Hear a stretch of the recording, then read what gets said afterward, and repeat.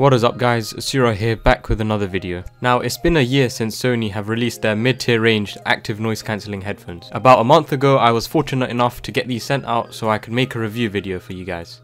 So let's get straight into it.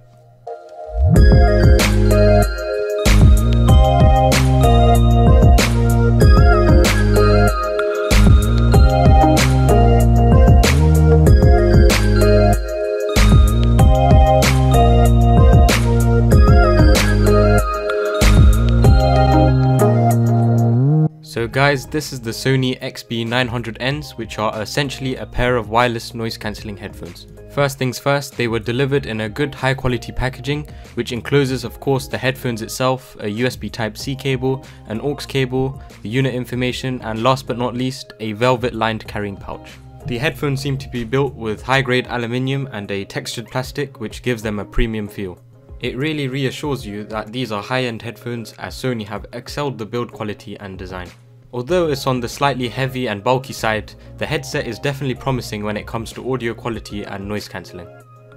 Having tested these for the past month, I can say that the noise cancelling is exceptional, especially for this price range.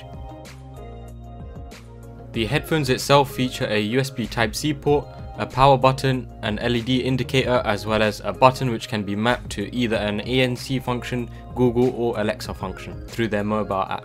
All the physical buttons are located on the left side of the headset, while the right side features a touch controlled panel which recognizes specific gestures to either control the volume or skip tracks. Something that triggered me was the length of the USB Type-C cable. It was so short it was almost unusable. However, a simple swap with my everyday Anker cable did the job. Having a Type-C port was really convenient as I can use the same cable to charge my phone and headphones.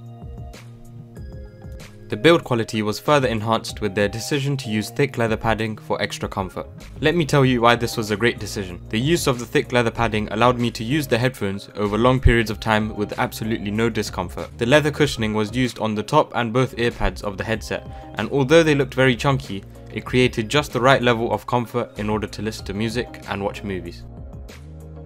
From my experience, the headphones maintain its good flexibility from previous generation models. It does have a good amount of flex which allows for good durability and comfort. The headphones can be adjusted with a swivel mechanism which allows it to swivel back and forth so that you can place them down on a surface.